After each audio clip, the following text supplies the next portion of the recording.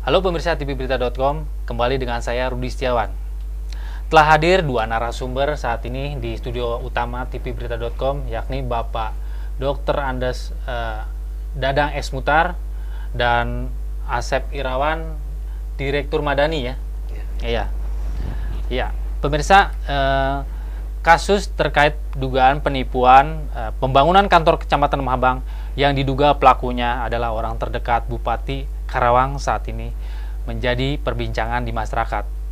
Ya, untuk lebih lanjutnya mungkin kita akan mengetahui eh, kepada Pak Dadang.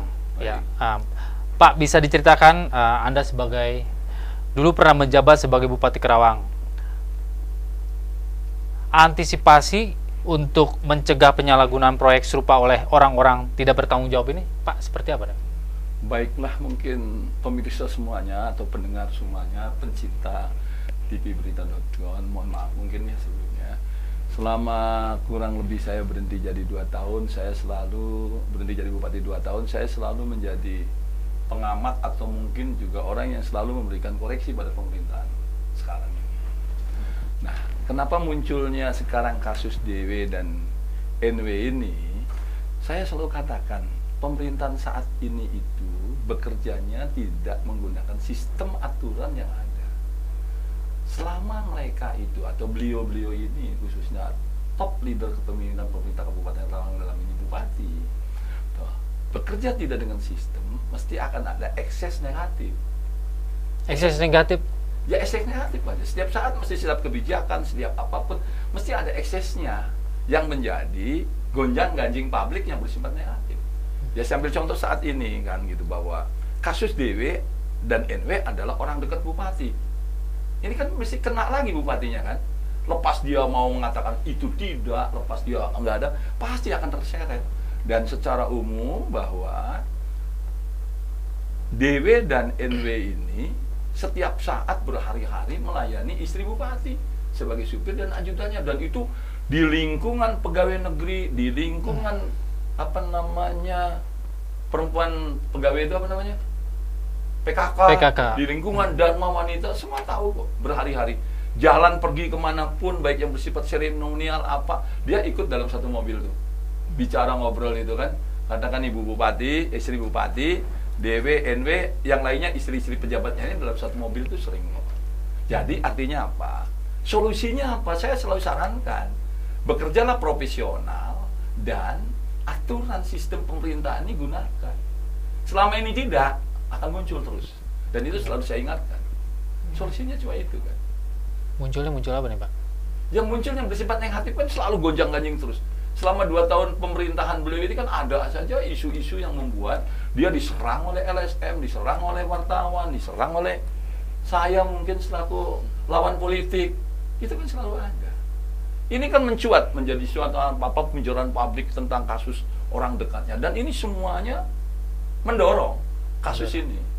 Toh, katakan baik itu- Mendorongnya nih maksudnya mendorong apa? mendorong ditangani Eh, secara ditangani serius secara oleh serius. Kapolres, kan. Hmm. Karena ini pintu besar untuk bisa membuka yang lainnya juga. Karena bagaimana itu peran DW, bagaimana itu peran NW di dalam menentukan proyek ini sangat besar dan dirasakan oleh semua pemborong. Saya Hanya kebetulan aja ada yang berani melapor. ada yang berani lapor ya. Ah, Sayogianya yang lain berani, baru berkembang semuanya sayogianya. Saya kira- Begitu ya Pak Asep ya? Iya. Nggak tahu Pak Asep pengamatan saya karena tadi aja. Intinya saya selama Pak Ade Iswara jadi bupati bekerja tidak menggunakan sistem aturan pemerintahan yang benar, maka akan selalu keluar ekses negatif. Kan udah berulang-ulang ini. Saya bicara di sini juga menyikapin itu setiap pemerintahan beliau. Mungkin itu. Nggak tahu kalau Pak Asep kenapa. Iya. Pak Asep kalau kalau Pak Asep sendiri gimana? Selaku nih, Pak Asep kan selaku eh, salah satu aktivis ya selama ini cukup kritis nih terhadap kebijakan-kebijakan Pemda Kerawang nih. Termasuk dalam mengawal program ya menggunakan eh, pembangunan Kerawang. Ah, bagaimana nih Anda melihat persoalan ini yakni proyek pembangunan di Kerawang nih kerap disalahgunakan oleh pihak-pihak yang selama mengaku dekat lingkaran kekuasaan. Bagaimana menanggapinya? Iya, saya juga sepakat dengan Pak Dadang tadi ya bahwa memang dari kacamata kami lah sebagai akademisi bahwa memang namanya kekuasaan pasti ada orang-orang di sekeliling kekuasaan itu emang eh, menggantungkan hidupnya itu dari kekuasaan. Dari di mana pun kekuasaan. itu, di mana pun itu, Di mana? baik itu di Kerawang, di Seluruhnya. seluruh Indonesia barangkali ya. Mungkin juga pada saat zaman Pak Dadang. Pak Dadang, iya. Itu memang sesuatu hal yang sangat sulit untuk dihindari. Ini dari Orang-orang yang memang menggantungkan maupun menyandarkan hidupnya itu kepada kekuasaan. kekuasaan. Tapi kan kembali kepada si pemimpin, si Pemimpin. penguasanya tersebut. Bagaimana seorang pemimpin itu bisa uh, memanage, mengatur, karena kan kepemimpinan itu adalah ilmu dan seni ya Pak ya. Iya. Hmm. Ilmu dan seni untuk mempengaruhi dan mengatur orang. Bagaimana orang-orang yang memang tidak bisa dilepaskan fenomena orang-orang secara kekuasaan ini juga bisa diatur sedemikian rupa, di manage, di maintenance supaya tidak mempengaruhi kebijakan-kebijakan sifatnya teknis Teknis. uh, kepemimpinan gitu kan. Sekedar dekat saya kira is nggak ada masalah ya Wajar, siapa pun wajar. karena Siapa pun. pemimpin itu apalagi dipilih masyarakat ya dia harus dekat dengan siapa pun. Terlebih barangkali dengan orang-orang yang dianggap berjasa secara politik kan. Sah-sah saja. Tapi kalau kemudian mereka dalam tanda kutip intervensi mempengaruhi secara jauh kepada sisi-sisi yang sebetulnya itu merupakan kewenangan mutlak seorang pemimpin itu Pemimpin. itu yang yang tidak boleh terjadi. Dia ikut campur artinya di sini. Nampaknya ini di Kerawang ya saya kira publik juga sudah, Sudah tahu, tahu. gitu Sudah ya. tahu. Saya juga tidak mau berbohong kepada publik Kerawang. Nampaknya di Kerawang ini memang terjadi terlepas eh, intensitasnya seperti apa dan sebagainya itu sudah tidak bisa dipungkiri itu terjadi. Tidak bisa dipungkiri. Ya, itu terjadi. Eh, dari analisa Anda, eh, apa sih salah dari semua ini regulasinya atau pola manajerialnya dari sosok eh, penguasa di Kerawang ini? Kalau regulasi saya pikir sudah bagus ya Pak. Bagus. Peraturan itu dibuat setiap tahun bahkan dirubah dibenahi terus. Tinggalkan bagaimana ini peraturan sudah ada yang melaksanakan peraturannya itu kan. Eh, Pelaksana kebijakan itu. Saya pikir di sini ya kembali kepada ya, leadership kepemimpinan. Leadership. Saya masih ingat ada di kampus itu istilah psikologi kekuasaan dalam istilahnya itu the people you love most in the best position to you. Artinya orang yang dekat dengan penguasa, Penguasa. itu orang justru orang-orang yang paling membahayakan si penguasa itu. Penguasa. Karena dia lebih banyak tahu ya Pak. Dekat gitu kan keseharian kekuasaan itu dia dekat, tahu. Itu paling berkesempatan untuk menyakiti bahkan membahayakan si penguasa. Penguasa. Nah, ini harus disadari nih oleh penguasa nih.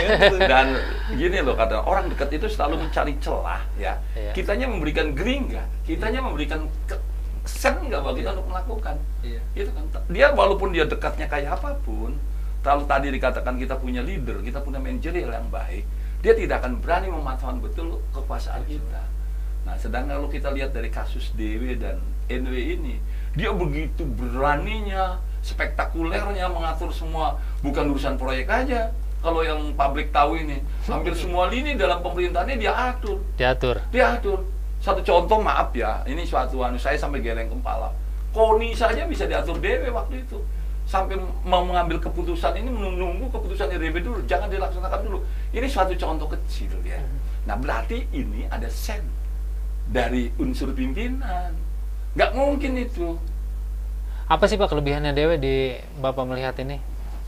Dulu kan pernah jadi anak buahnya Bapak kalau tidak salah. Saya tidak si Ujon atau tidak menjelekan. Iya. Kan Pak Ade bilang itu DW dari mana? Dari Golkar. Kalau di Golkar baik masih tetap dong. Iya. Nah, kalau istilahnya punten-punten ya, Iya. istilah di, di grup kita ini katakan itu orang mangga udah kerowok sama dia dimakan juga. Ya akhirnya dia kemakan Iya. kan. Saya Iya. tidak menjelekan. Mungkin Pak bisa katakan eh, Bapak mengatakan begitu. Mungkin Pak Ade menganggap menilainya Lebih ya baik, beliau lebih iya baik, mungkin lebih positif. ya mungkin positif mungkin ya. Mungkin positif. eh, dia juga mungkin tidak seburuk yang dinilai oleh Bapak. Barangkali penilaian beliau. Kenapa ya, dia mungkin dia pandai orang itu Iya. bicaranya pandai apa Iya. sehingga dia ada suatu kepercayaan ya. Iya. Mungkin kan ada orang jadi pemimpin senang disanjung, mungkin dia senang dia apa. Lah kita kan sebagai pemimpin yang dikatakan tadi harus selalu waspada. Orang baik sama kita ini ada maksud ya Pak ya. Kalau saya dulu tidak pernah ada anak mas gitu kan. Dan tidak ada sama sekali umpamanya kamu minta proyek harus ngatur proyek nggak ada. Walaupun dekat kayak apa pun, kamu minta proyek silakan urusan kepala dinas. Hmm, iya. Tapi tidak bawa orang lain untuk dirimu sendiri kan. Iya. Ini kan persoalan DW dan NW ini kan Pak ya eh, persoalan hukum yang terjadi dugaan penipuan Hmm. proyek pembangunan ini eh, cukup kental dengan aroma politisnya. Ini Tidak, gimana? itu yang keliru. Ya, ya Pak Asep ya yang keliru. Jadi tadi ini bersifat kejadiannya kalau menurut saya sih hukum alam. hukum alam, hukum sosial tadi dihakimi oleh masyarakat sendiri. Iya. Karena perilakunya yang dia selalu seperti ini bukan sedikit orang yang sakit dari kejadian-kejadian ini. Bukan sedikit orang yang merasa kesal. Nah, ditambah dia sendiri over merasa punya kekuasaan. Jadi ini alami pidana Nah, murni kok. iya. Dan ini yang saya sering katakan kepada saudara bupati ini, asal ada kejadian apa, melarikannya lawan politik, apalagi aku lah udah terkenal kolam dan sebagainya. Kata aku lihat sampai di mana hayo. Kan pernah saya katakan juga kan, suatu saat akan terjungkal juga kalau ini tidak mau diingatkan. Ini suatu warning bagi dirinya bupati. Ini udah terjungkil dari kelas kecil yang hanya 100 juta. Mungkin ada yang banyak, belum aja nanti kita lihat. Hah? Iya. Jangan lupa pemimpin itu harus amanah, Pak. Kalau Iya. tidak amanah betul, ikhlas betul, tidak ada mustipasi duit. Karena yang dibawa nih rakyat. Hmm. Dan kita jadi bupati mau pakai duit mau tidak itu karena Allah Iya. anugerah Allah. Kalau ini tidak ikhlas betul, dia selalu mengatakan Tuhan dulu kan, Allah dulu kan, semuanya. Tapi kalau tidak ikhlas betul, itu Allah akan marah. Jadi ini hukum alam aja kalau menurut Hukum saya alam. Pak Asep. Jadi kalau menurut Pak Asep politisir ini gini, tidak ada ini yang kan- politisasi. Ya, artinya gini Pak, ah, mungkin ya dari tanggapan Bapak bisa saja kan. Tapi kan di masyarakat biasanya itu orang menganggap beraneka, itu bermacam-macam ya. Mungkin eh, di tanggapan Pak Asep sendiri gimana ini untuk menanggapi ini? Ya satu hal ya memang ini dari satu sisi kacamata hukum walaupun saya bukan Iya. hukum, memang ini perkara hukum. Iya. Mau tidak Iya. mau kan harus ditindaklanjuti ya Pak. Oh, oleh dengan pihak hukum, kepolisian. Karena sudah ada pihak pelapor kan. Alangkah salahnya pihak kepolisian kalau tidak menindaklanjuti pelaporan dari uh, si pelapor tersebut. Iya. Terlepas itu siapa pun, apakah Siapa? itu DW siapa pun lah ya, kalau nama itu dilaporkan ya tentu ada tindakan hukum dari aparat penegak hukum. Tapi tentu, tentu ini kan juga tidak lepas daripada kacamata sosial gitu ya Pak. Ini mungkin akan menjadi perkara hukum yang standar lah. Kalau si pelakunya itu uh, bukan siapa-siapa gitu Bukan kan. siapa-siapa ya. Tapi orang publik itu sudah kadung tahu bahwa si ABC ini yang BWNN. kekuasaan gitu kan. Tentu dari kacamata publik ini menjadi sisi sisi yang menarik gitu ya. Mungkin kalau saya juga sebagai pengusaha media ya ini sisi yang punya nilai berita kan Berita begitu ya. Kalau orang eh, masyarakat ya ini bahan pembicaraan, Pembicaraan, yang ya. eh, yang yang punya nilai jual. Jadi Iya. kalau orang nggak tahu itu seperti ketinggalan Zaman. zaman gitu kan. Nah ini sebuah konsekuensi logis dari kehidupan sosial ya tentu terlepas nanti apakah Ajas benar salah gitu ya, kan ajas di, di pengadilan, tapi opini publik pengadilan publik itu sudah berlaku. Berlaku ya. Nah ini Hmm. ini yang memang sesuatu hal yang harus menjadi bahan pertimbangan barangkali Pak Bupati dan orang-orang sekitar beliau gitu kan. Coba tidak istrinya. Dan istrinya. Ya, orang bicaranya dari tangan dulu. Dan istrinya Iya. ini warning dari Allah, Ini. Pak. Warning dari Ini Allah. harus hati-hati. Harus hati-hati. Harus hati-hati. Hanya memang tadi, tadinya tidak bermuatan politik, Iya. kan? Iya. Karena ini adalah kebetulan mengkait dengan si pejabat publik ini. Iya. Pejabat publik banyak lawan politiknya, banyak nih jadi kecewa Iya. kan. Jadi akhirnya menjadi pengadilan masyarakat. Mengenai masyarakat ya. Dan ini murni pidana kok. Murni Kalau ada ngait-ngaitan ini ada hubungannya dengan partai saya Golkar, nggak ada. Ya secara kebetulan kebetulan sebagai pengacara yang walaupun tidak sah itu saudara Timi lah. Kalau Timi kan sebenarnya identik dengan Dadang Mukhtar. saya melihat sendiri bahwa kasus ini murni dan jauh-jauh sebelumnya sudah disampaikan juga. Yo ini damai aja, ini damai aja oleh saudara Timi itu. Mereka dengan keras kepala tidak ada apa-apa.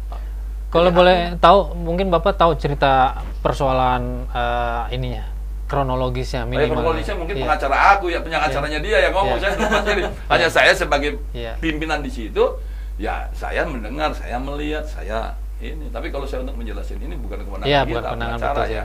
Tapi yang jelas sudah dilakukan deal-deal dalam apa karena musyawarah musyawarah yuk damaiannya. Tapi ini kan merasa beliaunya punya dekat dengan kekuasaan dan mereka tidak ini kan menolak terus.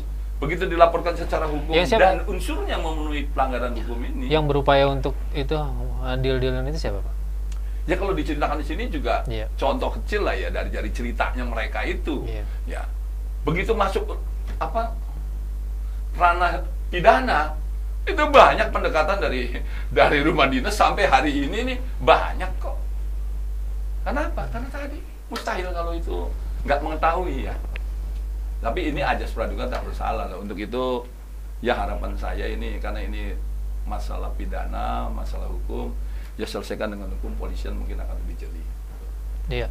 kan ini sampai hari ini orang menjual beli proyek itu tenang aja tidak merasa berdosa tidak merasa salah dan presentasinya tinggi sekali pak jual beli proyek ini tinggi sekali presentasenya sampai mencapai angka sampai 20 persen tapi para pemborong mau juga karena hitungannya ya yang penting kita dapat untung walaupun kecil atau besar.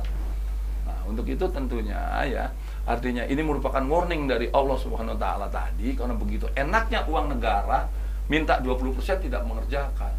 Malah ada satu kasus yang saya lihat aduh saya geleng kepala tapi orang saya juga ya kenal juga. Orang ini dapat proyek ya jadi dalam artian sistem sistem LS, LPSI LPSI. LPSI. Eh, RSP ini sistem elektronik. Iya. ini justru lebih lebih mudah untuk mafia dibandingkan sistem tender terbuka dulu. Karena kalau kekurangan satu elemen aja bilang banyak orang sekarang mengeluh sistem proyek ini penawaran dia katakan 91 persen yang dapat 95 itu banyak.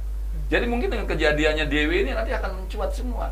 Nah kalau ini ini katakanlah proyek yang dapat itu yang penawarannya lebih tinggi ini ya tentunya atas kebijakan pak atas kebijakan siapa itu jadi untuk itu sekali lagi dengan sistem yang kayak gini banyak pemborong banyak pemborong yang tidak punya duit dia mau juga Nekat atau gimana Pak? Nekat. Nekat.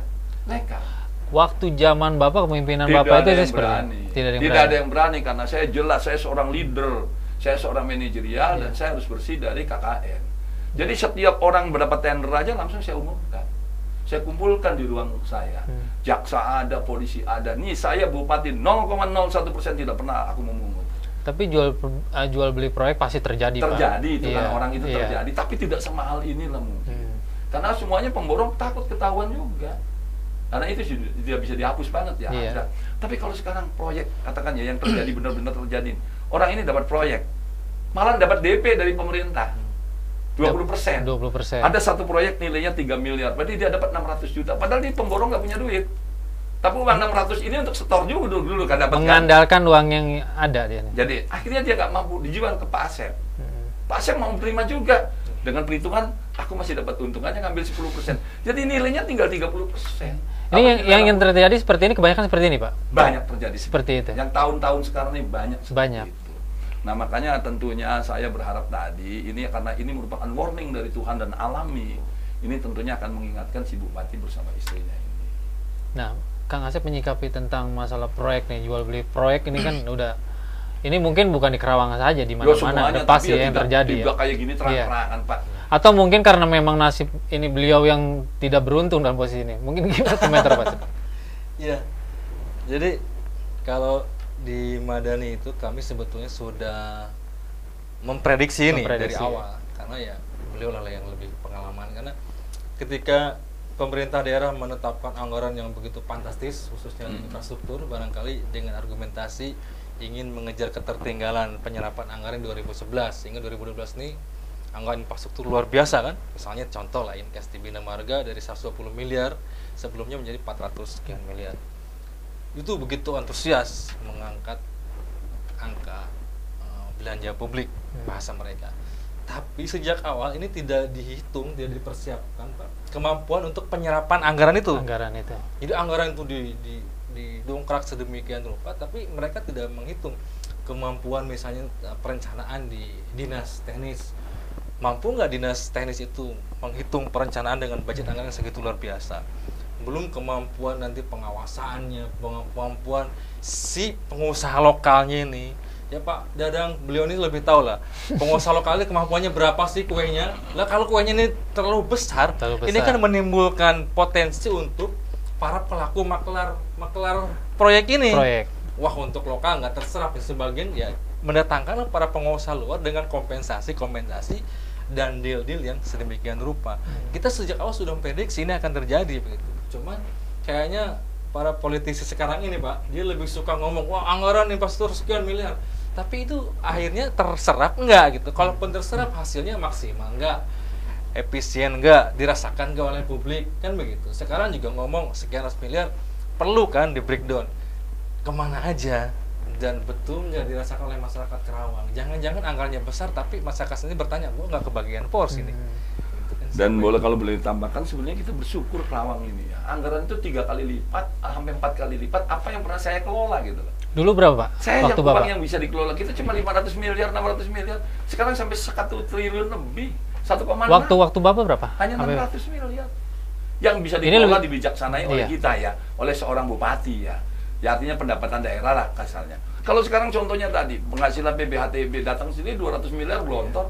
Nah, Iya. kalau ini bisa menggunakan seperti saya dulu, Kerawang ini pesat sekali. Kalau ya saya kira kalau Pak Asep pernah dengan saya ya, tanyalah saya tidak omong bohong. Dapat proyek apa ada perjanjian dengan kepala dinas? Nggak ada ya Pak Asep. Apa ada perjanjian dengan bupati? Iya. Nggak ada. Nah ini yang menjadi masalah kita. Jadi tentunya ini mesti akan berpengaruh pada tadi penyerapan anggaran karena sistem yang dibuat sedemikian rupa karena tidak mampunya seorang leader. Mungkin ada apa kader saya mengatakan tadi pagi kan tidak memiliki mengerti tentang administrasi pemerintahan dia harus akui gitu loh. Kalau dia seorang yang ahli betul nggak mungkin surat tematut. Kan dikatakan bahwa punya data nggak itu dadang mutar ngomong hasil hearing dengan OPD kenapa terlambat di meja bupati pak sampai sebulan-bulan tiga bulan ban saran aja tiga bulan nggak disposisi disposisi ini kan karena ketidakmampuan Nah, makanya Ya, orang kalau ketidakmampuan terbatas pengetahuannya pengalamannya latar belakang pendidikannya tentunya yang ada cuma emosi aja Situasi. kerjanya emosi kalau Iya. dikoreksi kan Betul. jadi ini saya kira ini kondisi ini muncul sekali lagi karena sistem tidak dipakai Tidak dipakai. Ya. sistem itu aturan ketentuan Iya, kembali nih Pak tentang penanganan DW dan NW nih ya. Ini kasus sekarang sudah di- sedang ditangani kepolisian dan eh, kabarnya eh, sudah ditahan ya. ya Iya. Ini proses hukumnya eh, Bapak melihat ini eh, seperti apa nih kepolisian ini? saya buka YouTube Kapolres akan menangankan sampai tuntas saya sangat salut dan hormat ya karena kan sekarang jujur kan dengan bangganya juga Bupati mengatakan semua kasus hanya isu kok dari Dadang Mukhtar ya kan nah dengan Kapolres mau menangani ini secara tuntas unsurnya memenuhi syarat semuanya kok untuk tindak pidana dan kembali bahwa DW ini menjadi satu sistem nggak mungkin dia berangkat sendiri Sendiri. DWNW tidak mungkin berbuat seperti itu kalau Iya. tidak ada Biasanya Pak untuk suatu kontrak eh, proyek ini ya, Hmm. eh, mungkin itu perjanjiannya eh, artinya ini kan eh, kita mencari siapa sih yang mungkin yang yang punya peran di sini kan. Ketika itu un- untuk siapa sih mereka itu bekerja? Apakah memang betul untuk dia dijalankan oleh eh, secara khusus untuk ditangani oleh dia? Biasanya seperti apa Pak? yang mana maksudnya gitu biasanya proyek ini suatu proyek jika ditangani oleh si pemenang tender atau Hmm. misalkan ya itu biasanya itu ditangani eh, mereka tuh ada ini enggak proses prosedural untuk ya katakan melibatkan dari pihak kepala dinas atau dari pimpinan waktu bapak mungkin kan Ya semuanya itu yang melibatkan kepala dinas. Iya. Hanya kan prosedur seperti ini yang saya dengar itu. ya, Katakan DW dan NW itu kan sampai berani, eh proyek ini harus kasihkan ini. Eh di- ditunjuk kok Pak kasusnya seperti itu. Lah orang sampai bisa melakukan itu kan tidak mungkin kalau ada backup dari ada kebijakan dari atas. Orang berani-beraninya depan umum kepada kepala dinas, kamu harus kasihkan Rijal ini proyek ini. Iya. Dalam kejadiannya kan seperti itu. Ya. Nah, jadi ini artinya apa? Harapan saya, ya Pak Kapolres sesuai dengan statementnya tadi, tolonglah ini kembangkan. Ya. Ini hanya korban kata Pak Kapolres begitu, Iya. hanya korban. Mesti ada lah decision makernya itu kan ada pasti. Iya. Nah ini harapan saya yang mudah-mudahan, nah, karena ini demi menyelamatkan Kerawang seluruhnya. Iya. Bukan berarti kita ada unsur subjektif pada saudara bupati ya, atau kepada Dedi dan NW. Ini akan bisa memberikan peringatan bagi pelaku-pelaku yang lainnya. Karena bukan ini aja, mungkin ada lagi pelaku lainnya Pak. Ya Pak Asep sendiri akan mengawal nggak nih untuk proses uh, penanganan di pihak kepolisian sendiri nih? Ini khawatir sekarang ditangani ketika hanya takut formalitas aja bisa aja kan Pak? Iya. Zaman sekarang bisa aja kan. Bisa Ketika aja. sekarang ditangani polisi lancar, di kejaksaan kan nanti bisa aja Pak. Bisa. Nah, itu kan pembuktian kan makanya yang perlu dibutuhkan kan. Ya baga- bagaimana komentar Pak? Ya kalau kita sih pertama apresiasi ya dengan pihak kepolisian. Arti emang tentu menangani perkara hukum yang bersinggungan dengan orang dekat kekuasaan punya Pak Iwo. ya punya banyak hal yang belum per- tapi itu yang pertama. Yang kedua juga kita tetap ber, berbaik sangka berprasangka baik kepada Pak Kapolres maupun kejaksaan bahwa ini murni perkara hukum Hukum. gitu kan saya yakin Polres maupun Kejaksaan tidak akan tergelincir untuk menggeser perkara ini menjadi perkara politik dan sebagainya ini in case perkara hukum saya yakin uh, seperti itulah dikawal maupun tidak dikawal mereka akan tetap uh, normatif Iya.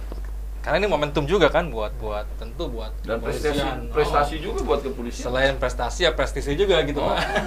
ini juga momentum buat kepolisian bahwa memang mereka bisa bekerja dan saya yakin ini bisa yang kedua tentu kita melihat ya dari sisi penguasa ya Pak Bupati ini sebetulnya kejadian ya kalau mau diambil hikmah juga momentum buat beliau gitu bahwa memang kalau emang kalau selama ini saya baca di beberapa media kalau memang orang dekat itu macem-macem sikat aja ya ya sudah sikat aja kan memang gak ada beban ya Harus ya, konsisten ya? konsisten, Konsisten. gitu kan fair aja ini tuh perkara hukum kalau memang tidak melibatkan uh, ke penguasa ya nggak ada beban ya silahkan gitu kan karena toh kedudukan hukum orang dekat maupun orang jauh bupati kan sama saja Betul. Ini mungkin bahasa sikat ini eh, bisa nggak mengartikannya? Sikat itu kan bisa ada macam-macam nih. saya hanya baca di Quran seperti itu bahwa kalau ada orang dekat saya yang katanya Iya. memanfaatkan dengan hal yang jelek Iya. sikat aja kan gitu pak Ya. Iya. ya saya kira ini momentum ya ya buktikan gitu kan Buktikan, ya. pembicaranya gitu kan dan ini juga kan berdampak positif lah kepada Pak Bupati dan keluarganya keluarganya. Dan harusnya bersyukur lah ya. Iya. Allah masih mau memperingatkan seperti ini. Hmm. aku yakin hati kecilnya mengakui untuk mau mengevaluasi. Jangan sedikit-sedikit marah ini lawan politik ini orang balong. Itu yang saya nggak selalu nggak terima coba deh sadarin bahwa ini kejadian ini betul-betul warning dari Allah. Mungkin Pak takut dimanfaatin oleh Bapak barangkali. siapa yang manfaatkan Iya. apa pentingnya? Ya kan? saya tidak punya kepentingan. Dan saya dengan adanya statement Kapolres saya angkat Iya. hormat pada beliau. Beliau akan menyelesaikan sampai tuntas. Jadi saya tidak khawatir kalau polisi akan main-main. Ya, akan main-main. Dan harapan saya nih selaku mantan bupati tokoh masyarakat tolonglah penegak hukum kita di sini ini. Karena ini dengan bahasa semua dengan duit encer ya belum tentu orang punya idealis pak suatu saat juga pejabat tidak semuanya mau diatur pakai duit pak Iya. Tidak mau ya Pak. karena orang juga tentunya punya idealisme tinggi-tinggi Iya. besar-besar. Waktu zaman Bapak sih ya juga seperti itu kan Pak. Ya kalau saya kepada mereka musbidah itu begitu hormat banget. Saya begitu di dalam lagi bicara apa saja datang ke Polres saya keluar tinggalkan yang lain. Datang Dandim saya tinggalkan yang lain, datang pengadilan karena itu merupakan rekan kinerja kita untuk membangun Rawang ini. Gitu loh, Pak. Oke, buat Pak Asep nih, per- pertanyaan terakhir. Eh, menurut Anda perlu nggak dibenahi sehingga untuk eh, persoalan ini bisa eh, supaya tidak terjadi kembali nih? Ya, saya sampaikan tadi, mungkin juga Pak Dadang juga sepakat bahwa ini kan momentum lah ya. Iya. Saya pikir juga nilai uangnya itu 100 juta itu tidak seberapa lah Tidak, ini kan kerikil kecil kan seperti itu Oh, kan. masih untung ya dengan nilai uang yang uh, hanya kecil gitu kan. Terus juga hanya menimpa katakan orang yang yang dianggap dekat akan lebih berbahaya tentu kalau menimpa keluarga dan lain sebagainya itu kan sangat luar biasa. Hmm. Ini kan politisnya. 100 kecil, tapi 100-nya kalau berkali-kali Nah, bukan kecil itu. lagi kan? Ini kan yang terpublis itu kan yang ini- 100, jadi dianggap ya masih untung nih. Yang 5 miliar mah nggak tahu, Pak. Jadi ini saya pikir momentum lah untuk pemenahan ke depan seperti apa. Jadi tadi ini merupakan warning ya, peringatan hukum alam yang berjalan yang saya katakan tadi. Kalau tidak bekerja dengan sistem selalu ada excess. Itulah yang harus disadari oleh Pak Bupati maupun istrinya. Kalau tidak, aku selalu katakan kalau tidak lihat nanti deh. Tuh, ini baru peringatan kecil. Peringatan kecil ini. Peringatan kecil dan kejadiannya memang mungkin mungkin ya tidak kita merasa ini benar atau tidak nanti pembuktiannya kan dari Pengadilan. Pengadilan ya. hukum. Tapi infect lah segera pada dirinya. Itu kalau saran saya Pak. Infect dan kepolisian juga yakin serius. Ya. Pak Dadang sebagai penutup nih, menurut Anda harus bagaimana para stakeholder di lingkungan Pemkap Karawang ke depannya? Utamanya adalah bupatinya sendiri, Pak. Ya tadi bekerjalah secara profesional, ya. bekerjalah secara profesional. Jadilah pemimpin yang benar, li- memiliki ilmu leadership yang benar, memiliki ilmu manajerial yang benar. Nah ini kan tidak. Memang sekarang belum profesional ya bupati sekarang. Belum. Wong masih tetap anak buah saya, walaupun dia sekarang katakan cium tangan kepada bupati, tetap ngomong kok. Wong surat aja susah, semuanya gimana? Baca amanat aja masih salah melulu. Ini jujur. Habis Iya. juga nutup pendidikan. Orang-orang ini nyalami kita ketemu di lapangan. Aduh Pak, malu banget baca amanat aja salah, Pak tinggal baca. Gimana? Itu kan tidak pro- tidak mau belajar. Tapi angkuhnya luar biasa sekarang merasa dua tahun ini punya kekuasaan. Padahal anak buahnya melecehkan Pak. Baca amanat aja salah kan gimana sih Pak? Zamannya Zamannya. Hmm. satu. Surat-surat sekarang Kalau mau jujur itu kan dikatakan juga oleh staf dari mal- apa? oleh praksi Golkar ya. Di koran hari ini kan Iya, Pak. surat itu diambil alih sama sekretaris daerah kok. Sekretaris sampai teler tuh. Kalau diserahkan beliau tertunda sekian bulan nggak akan dibaca juga, nggak ngerti juga. Jadi mau belajar, saran saya ini Pak Ade Suara itu mau belajar, belajar pada siapa aja, belajar diri sendiri untuk menjadi seorang bupati yang profesional dan bekerja dari sistem. Kalau selalu diingetin gini, aku berani nonton masih tiga tahun lagi panjang kok. Silakan aja. Bukan karena nanti jatuh gara-gara dadang mau tadi. Dan semua ini karena perilakunya Pak, gitu loh. Benar nggak Pak Seth? Sadari bahwa semua ekses ini karena perilaku seorang leader yang tidak. Kalau seremonial aja sih banyak. Lihat sekarang Karang Pawitan itu jadi kubu begitu kan. Semua orang dia dicomookan. Maaf satu kata lagi, beliau selalu mengatakan lawan politik. Beliau tidak pernah baca yang namanya SMP Gateway ya. Ada kan di koran tiap hari kan? Dengar itu keluhan rakyat, bukan keluhan Golkar, bukan keluhan Dadang Mokhtar. Bacalah di internet bagaimana itu rakyat mencomookan bupati. Suruh baca. Jadi jangan percaya dari lingkaran ABS nih. Ini pendukung ini sering saya katakan dari awal hati-hati pendukung bisa menjerumuskan. Hmm. Punyalah integrated. Itu aja. Iya. Iya. Kalau nggak punya integrated jadi pemimpin, ya kacau negara ini, Pak. Iya. Baik, terima kasih. Ya, terima kasih ya Pak Asep atas kehadirannya dan waktunya Pak Dadang. Ya. Ya, semoga ini uh, perbincangan kita ini bukan uh, membicarakan hal-hal yang Jelek. negatif dan jelek ya. Pada intinya kita ingin um, sejauh mana penanganan persoalan tentang yang ditangani oleh uh, kasus uh, Kecamatan Lemah Abang ini ya. Nah, demikian pemirsa tvberita.com uh, nantikan terus berita-berita aktual lainnya. Sampai jumpa. Yep.